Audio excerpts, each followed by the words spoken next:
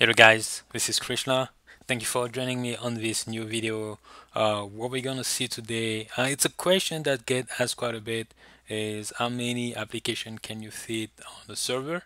So what I just did here is I started about 20 application. I actually uh, started about 20 application on this uh, single server over here and we're gonna see how the server is handling that so I am on Cloudways. If you don't already have an account and you know you want to open an account maybe try it out uh, under the description you're gonna find a link over here. This is a referral link. It's gonna provide you with a free trial but as well you could use the coupon that you're seeing here to get an extra 10% off for the next three months. Okay? With that being said let's jump in here. So um, I have this uh, server that I just started and this server here is really a very very very basic server. Uh, you would not use it into production at least cloudways do not recommend it and I would not recommend it as well. There is not a lot of resources there. It's just a one gigabyte server and basically it is a DigitalOcean server. If I just go over here um, just type stuff like this and this is the configuration that I follow over here. Just uh, one gigabyte 25 gigabyte of SSD RAM one terabyte of, tra of transfer one, one core one core processor.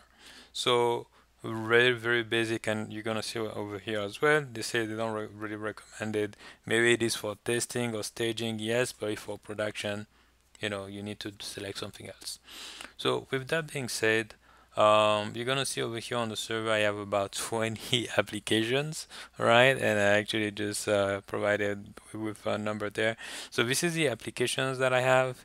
Um, we're gonna have a look at that. But before we decide to do that let me come back here to the server.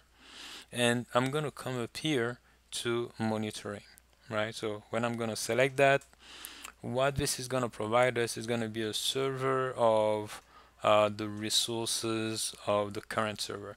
So this is a little bit off. Usually it stays a little bit around 30%. Uh, um, let me just refresh just to see. Could be that it is at 1%, but sometimes, um, yeah, some, seems like that's the case.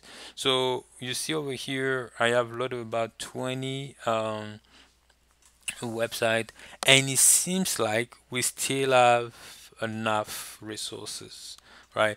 You gotta be careful with that and you're probably gonna you're probably gonna notice that if you decide to do it um, when you can have like all the servers there. If those servers are just at rest you know nobody's really um, visiting those servers using resources on the server or you're not really working on the servers adding plugins and all the stuff yeah you know that's okay. So I would say if it's a one pager website um, we don't have a problem right? You should you should be fine right? Just a brochure website that's okay.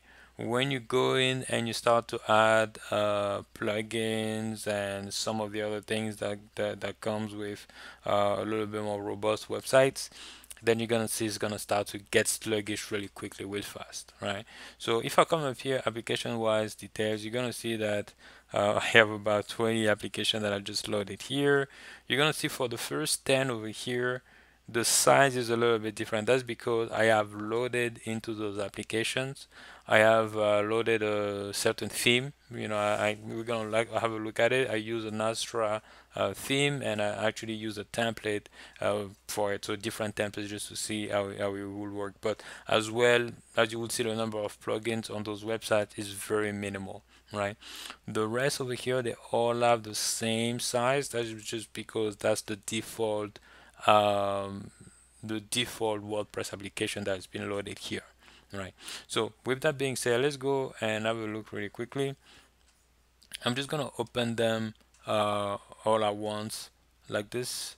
So we're gonna have a look at how it works. So I'm just gonna open the first 10 and what you're gonna notice let's go ahead and have a look. So this is website number one. Like I say if that's all you're doing if that's all you have over here shouldn't be a big problem.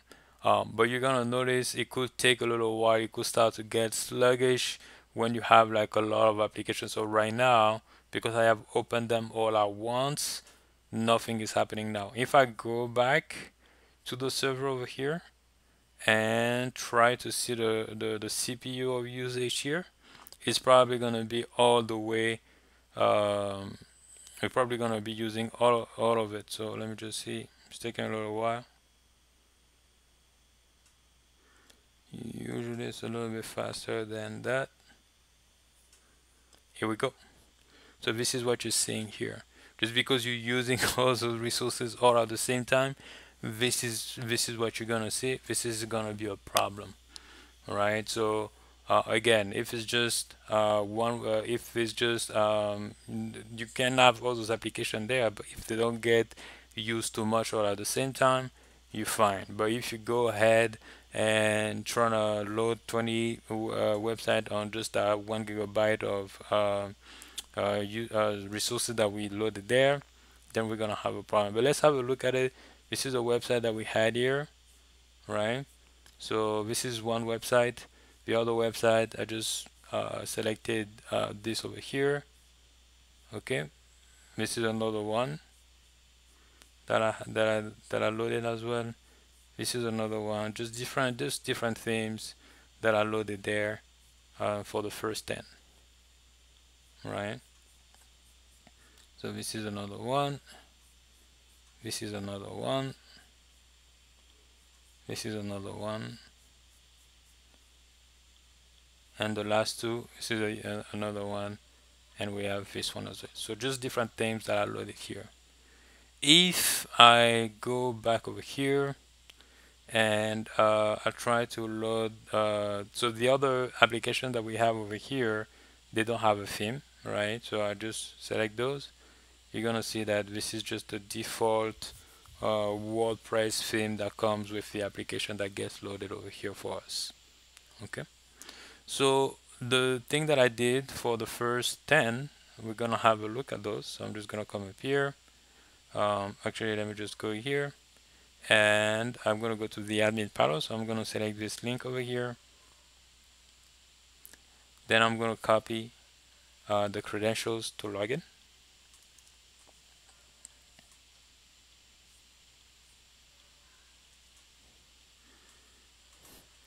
okay so I am logged in and what you're gonna see is if we go we look at the appearances of uh, the appearance over here the theme that I have, I just loaded the Astra theme, right?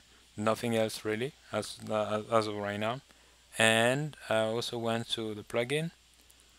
Uh, with the plugins over here, I have added the Elementor plugin, uh, the starter template for um, uh, for Astra, and for this one there is a WP Forms Lite, right? So this is Astra that is adding those plugins when I'm selecting the template. And basically I came up here the template uh, no it was appearance starter template over here. And this is where you know you select uh, the template that you want to select.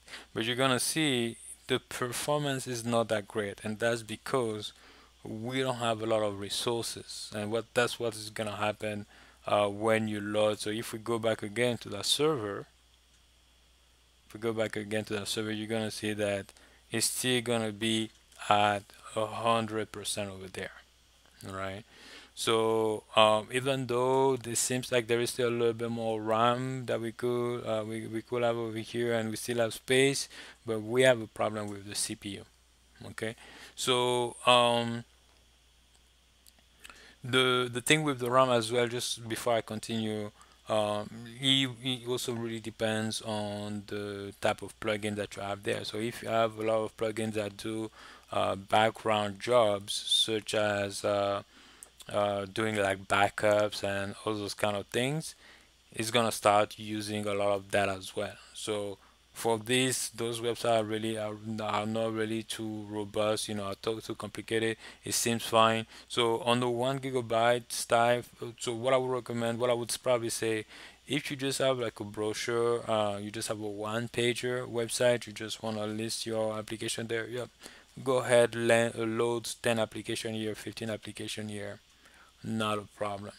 If you have two three applications that have a lot of uh, um, if you have applications that have a lot of traffic or use a lot of plugins you know I wouldn't recommend. First of all, I wouldn't recommend a one gigabyte. You will definitely need two, at least two two gigabyte, two core minimum, right? So that's what I would say. But it's definitely possible to have a lot of um, a lot of WordPress application on one server. So if this over here happens to you, the way you solve it is you come up here. So you're gonna you need to be on the server. You need to select the server.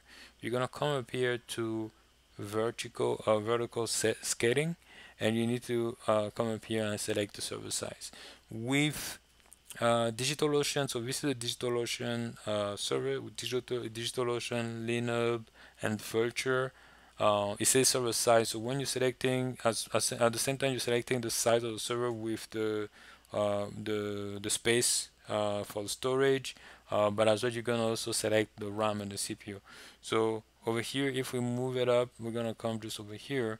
So now it's giving us 2 gigabyte of RAM 50 gigabyte of SSD 2 terabyte. We still have one core. Actually I think unless we're gonna go with two cores right now because the CPU was actually uh, being a problem for us right? Um, instead of the, the RAM so we, we, you will need to be at least at two core over here uh, if you have it set up the way I have it there. So with that being said, I just need to come up here, scale now.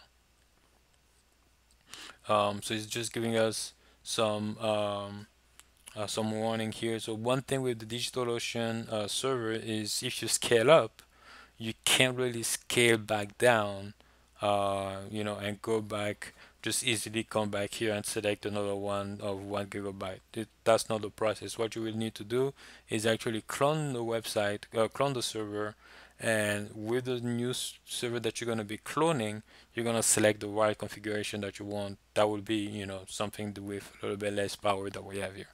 So I'm just going to click on proceed over here. It's going to take a little while. Uh, I'm going to stop here. I'm going to come back when it's done. Alright guys, so you will see here um, the server has just finished uh, creating itself and I'm just gonna click over here, go to the server. We're gonna go to monitor right now just so we can have a look and this is what we, now, we have now. So we have about 78 gigabytes uh, over here uh, we have 36 for the usage and we have about 4 gigabyte of RAM here. So what I'm gonna do I'm gonna redo the same thing that I just did there where I had opened several ones all at once. Let's do that again. So I'm just gonna say um, we're gonna go for the first 10 first.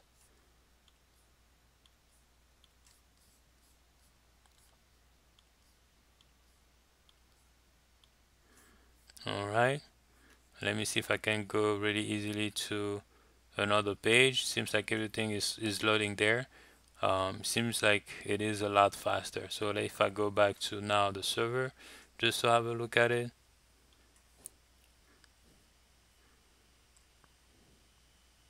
You're gonna see that we are not maxing out the CPU usage over here.